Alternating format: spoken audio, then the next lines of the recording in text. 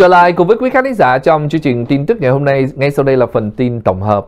Chương trình tin tức được đặc biệt bảo trợ bởi công ty xuất nhập cảng Ten Lê Yến, số điện thoại 714 418 9788 hoặc vào trang mạng tiệm yến.com với các sản phẩm đông trùng hạ thảo, nhụy hoa nghệ tây, saffron. Mở đầu là bản tin đến từ nước Úc cho biết là một người mẹ bất lực khi nhìn đứa con quậy phá trên băng truyền hành lý ở phi trường. Một bé trai chạy nhảy và quậy phá trên băng truyền hành lý tại phi trường Melbourne trong sự bất lực của người mẹ đã buộc nhân viên phi trường phải phát loa cảnh báo. Video đã được chia sẻ trên trang mạng xã hội trong ngày 3 tháng 1 cho thấy là cậu bé này nhảy lên băng truyền hành lý tại phi trường thành phố Melbourne thuộc tiểu bang Victoria và chạy vòng quanh. Bà mẹ của cậu bé đã ra lệnh xuống ngay và ra khỏi đó, nếu không thì mẹ sẽ tóm con xuống đấy. Tuy nhiên cậu bé đã đáp lại là Ồ không, mẹ sẽ không thể làm được đâu. Những hành khách xung quanh đã ngạc nhiên và chứng kiến cậu bé chạy nhảy trên băng truyền, sau đó kéo vali của một hành khách xuống đất. Người mẹ đã hét lên trong bất lực, còn cậu bé thì vẫn tiếp tục quậy phá. Một nhân viên phi trường của Melbourne sau đó đã phát ra một cảnh báo trên hệ thống loa yêu cầu người mẹ trông chừng cậu bé đang chạy nhảy trên băng truyền số 4. Phi trường cho biết là nhân viên an ninh và cảnh sát sẽ đến nói chuyện với bạn, xin vui lòng đưa con của bạn ra khỏi băng truyền. Nghe nói đến cảnh sát đang tới thì cậu bé hoảng sợ và nhanh chóng nhảy xuống khỏi băng truyền chạy đến bên người mẹ. Nhiều người dùng mạng xã hội đã bị shock khi xem video này. Một người nói nếu là tôi khi còn bé thì sẽ bị đánh đòn. Một người khác thì bày tỏ rằng mẹ sẽ cho tôi biết thế nào là cách hành xử đúng mực trước mặt tất cả những người ở đó. Một số người ca ngợi cách xử lý linh hoạt của nhân viên phi trường khi đề cập tới cảnh sát để dọa cậu bé. Một tài khoản Twitter bình luận rằng cô ấy chắc hẳn cũng là một người mẹ và biết phải làm gì trong tình huống này. Phát ngôn viên của phi trường Melbourne tuyên bố là họ muốn bảo đảm an toàn cho hành khách và nhân viên, nhưng từ chối bình luận thêm về sự việc này. Sang qua Thái Lan, bản tin tiếp nối cho biết về một sự kiện trong năm mới đó là nằm trong quan tài để đón mừng năm mới. Theo thông tin trên tờ báo The Nation đưa tin, vào dịp lễ nghỉ năm mới hàng năm, người dân Thái Lan lại đổ về ngôi chùa Wat Thakian ở Bangkok để tham gia một nghi lễ kỳ lạ. Những người tham gia của nghi lễ lạ thường này sẽ nằm vào trong một chiếc quan tài mở nắp tay cầm nén nhang và hoa tươi, giống như là những thi thể chuẩn bị được đưa vào lò hỏa táng. Các nhà sư sau đó sẽ tụng kinh cầu nguyện trong khi những người bên trong quan tài hồi hướng công đức cho các thành viên trong gia đình đã khuất của họ. Sau khi nghi lễ kết thúc thì người tham gia tin rằng bản thân của họ đã được tái sinh và thoát khỏi những điều xui xẻo để sẵn sàng đón một năm mới đầy điều may mắn. Một lượt làm lễ trong quan tài diễn ra khoảng 20 phút.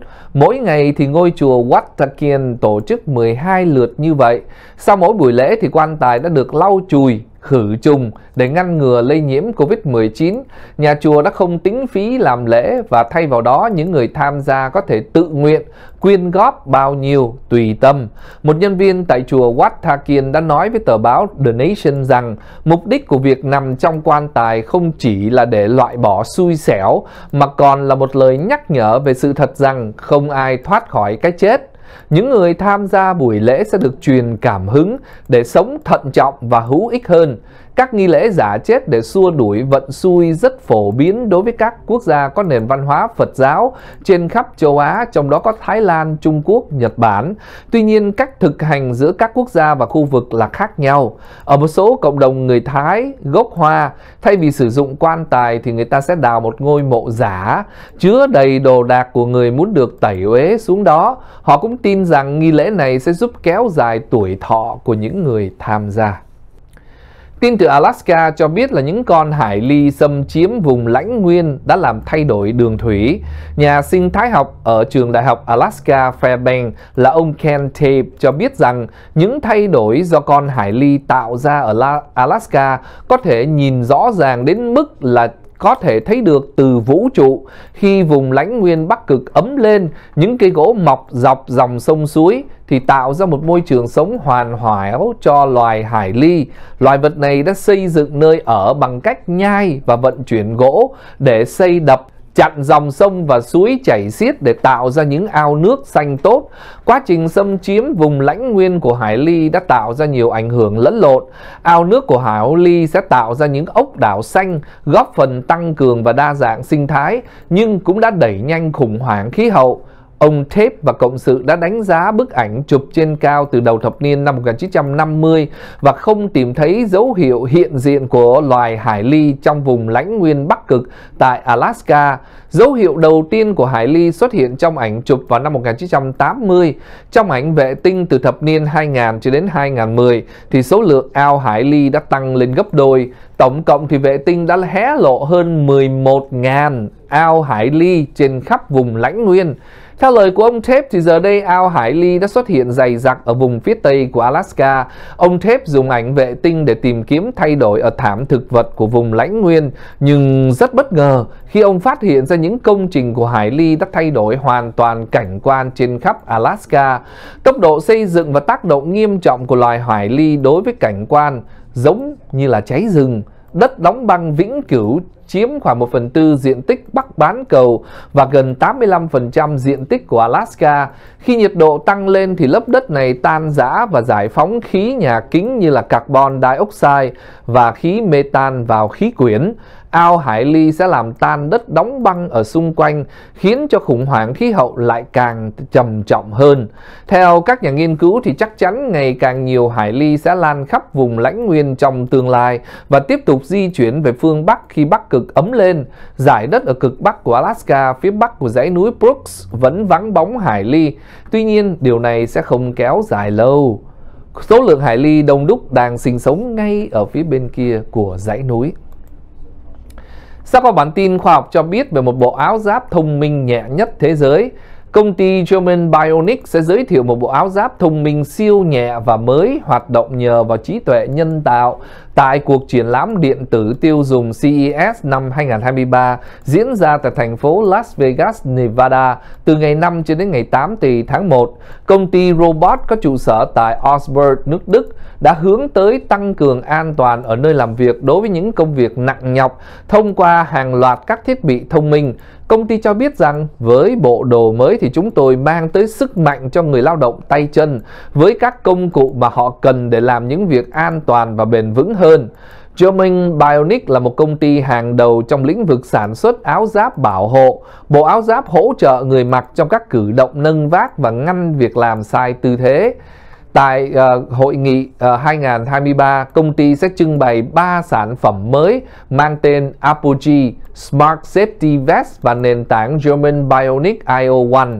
Áo giáp Apogee là một bộ áo giáp nhẹ và thoải mái hơn là các phiên bản trước, có thiết kế không bám bụi và ngấm nước, cung cấp hỗ trợ lực lên tới 30 kg cho phần lưng dưới trong mỗi cử động nâng và giúp giảm mệt mỏi thông qua trợ giúp đi bộ. Nhóm nghiên cứu của công ty bảo đảm bộ áo giáp Apogee có thể sử dụng được ở nhiều môi trường làm việc, đặc biệt là nơi cần phải mang vác thường xuyên, thí dụ như là kho vận, xây dựng và dịch vụ.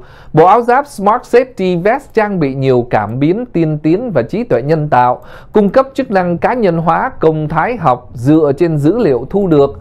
Bộ đồ cũng đưa ra đánh giá và khuyến cáo hoạt động chỉ với một nút bấm. Thiết bị có thể xác định nguy cơ và cơ hội cải thiện để giảm mệt mỏi và chấn thương tại nơi làm việc. Nền tảng German Bionic IO dựa trên công nghệ đám mây là một mấu chốt của hai bộ áo giáp nói trên. Thông qua nền tảng này thì dữ liệu đã thu thập sẽ được phân tích liên tục bởi học máy và để cho trí tuệ IA tăng hiệu quả an toàn theo hoạt động của người dùng. Hệ thống sẽ cảnh báo sớm trong trường hợp người dùng làm sai tư thế, mang vác không đúng cách và dùng sức quá nhiều. Và cuối cùng là phần tin giải trí cho biết là nam tài tử Aaron Taylor Johnson sẽ đảm nhận vai điệp viên 007 huyền thoại. Theo một báo cáo mới nhất của trang Screen Rant, nam diễn viên Aaron Taylor Johnson được cho là đã gặp gỡ với nhà sản xuất Barbara Broccoli và thậm chí từng có một buổi thử vai điệp viên 007 bí mật trong năm ngoái. Nguồn tin cho biết là ngôi sao nổi tiếng của uh, bộ phim Bullet Train đã thể hiện rất tốt ở buổi thử vai. Hiện tại anh và hãng phim chưa chính thức lên tiếng về thông phim này. Sau khi nam tài tử Daniel Craig rời khỏi và loạt phim 007 thì có hàng loạt các ứng viên trẻ và lớn tuổi đã được nhắm cho vai diễn James Bond huyền thoại như là Idris Elba, Henry Cavill, Rene Jean Tom Hardy và Taron Egerton. Tuy nhiên, chỉ có Taylor Johnson mới hội tụ đủ tố chất theo yêu cầu của bà Broccoli, nhà sản xuất tài năng của loạt phim 007 từng tuyên bố bà đã nhắm tới một diễn viên người Anh dưới 40 tuổi và đồng ý với cam kết hợp đồng trong vòng từ 10 đến 12 năm. Bà Broccoli không vội vàng đưa ra chọn lựa, bà cần thời gian cân nhắc và tập trung hơn vào việc tìm kiếm người lấp vào vị trí trống của Daniel Craig. Trang thông tin Screen Rant bình luận rằng, thông tin này chắc chắn sẽ khiến cho cộng đồng người hâm mộ phấn khích với kinh nghiệm làm nghề trước đó công bằng mà nói Aaron Taylor Johnson chắc chắn khẳng định được rằng anh đủ khả năng để đảm nhận vai tầm cỡ như vậy và ở tuổi 32 anh hoàn toàn phù hợp với yêu cầu của nhà sản xuất. Nam diễn viên sinh năm 1990 là người diễn viên người Anh gốc Mỹ bắt đầu sự nghiệp diễn xuất từ năm 6 tuổi. Taylor Johnson đã gây ấn tượng qua một số bộ phim như là Kick-Ass, Avenger Age of Ultron và Godzilla. Trong năm 2009, anh đã có một vai diễn đột phá trong bộ phim Nowhere Boy là một bộ phim kể về tuổi thơ của John Lennon. Năm 2012, Aaron Taylor Johnson đã kết hôn với đạo diễn Sam Taylor Johnson, vợ lớn hơn anh 23 tuổi. Cả hai bắt đầu hẹn hò sau khi gặp mặt nhau trên phim trường của bộ phim Nowhere Boy.